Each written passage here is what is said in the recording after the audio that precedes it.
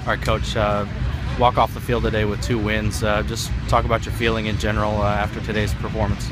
Yeah, it was a good day. I mean, obviously, if you can win two, um, that's a great day. I think you know we still have some work to do offensively to capitalize on getting we're getting runners on, we're getting in scoring position, but we're not executing uh, every time or the majority of the times. We need to do a better job with that. I think our pitching and defense was stellar again today. Uh, so excited about two wins talk about the first game. Uh, Stein uh, in the first inning uh, didn't come through, uh, flew out to center, but then next time she had that same situation, uh, delivers two runs, and, and, that was the difference. And then Kessler just uh, went on cruise control from there. Yeah, you know, Kessler was dominant today all day in, in, both games. In the first game, I thought she controlled them really, really well, had good command of her pitches, mixed speeds really well. And, you know, Maddie always gets up in clutch situations, and yeah, first inning, you know, maybe didn't deliver, but we have a lot of confidence in her, and she has a lot of confidence in herself in those RBI situations, and you know she comes through more often than not.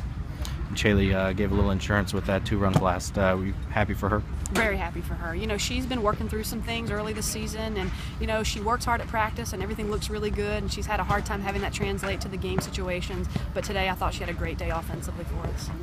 Game two, a little different story. Um, hard to say that a pitcher maybe battled or grinded when they strike out 10, but did, did you see maybe something from Pili uh, just working hard today? Yeah, she worked hard. Uh, she had a great game. Unfortunately, that one big hit at the end, you know, caused us to put Kessler in to finish. But I thought she had a great game. Uh, she she also dominated the hitters for, for the majority of the game, and she had good poise on the mound um, and a lot of strikeouts, which was great. Um, you know, just at the end there, we thought we needed a change, and Kessler came in and shut it down for us. And then offensively, we took off in the seventh.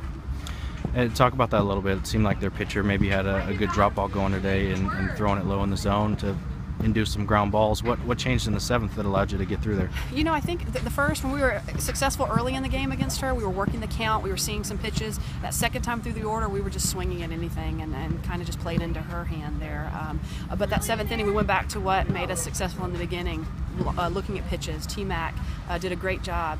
Uh, with her at bat, seeing a lot of pitches and getting on, and you know I thought that was the difference, just making the pitcher work a little bit more in the seventh.